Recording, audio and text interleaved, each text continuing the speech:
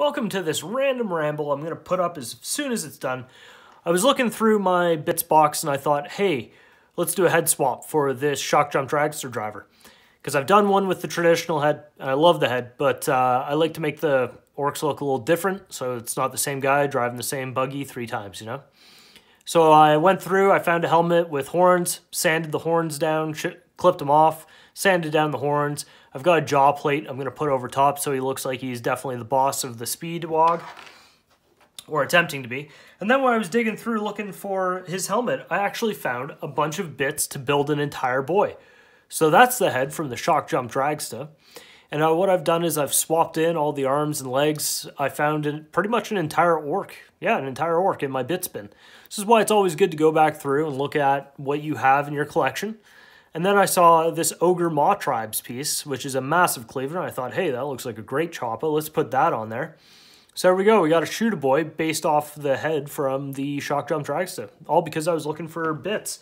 And then while I was looking through my bits, I ran into all these little Gnoblar bodies without the heads. It's a two-piece model. It's The head goes on that little nub there. And the Gnoblars and the Ogor Mawtribes are guys who like fall around and just collect stuff, I guess, for the, the Ogres. And then, uh, so what I thought was, hey, let's make him look a little bit more 40, 40K looking and uh, make him a Gretchin. So what we have here is the Gretchin version. So I chopped off the Sigmar head and one of the chicken bones because it doesn't make sense for orcs to be carrying around chicken, unless I guess they raided a prehistoric, like medieval town. And I did a head swap, so it's a 40k head. But it didn't stop there because I found another Gnoblar body. This one, he has a little bag there, a cudgel. They're wearing these sweet little vests. So I found another spare orc head, and I swapped another one around, and there we have two Gretchin. But it didn't stop there because I found another one. Now this guy, he's my favorite out of the three. He comes from the banner off the set of the Ogres.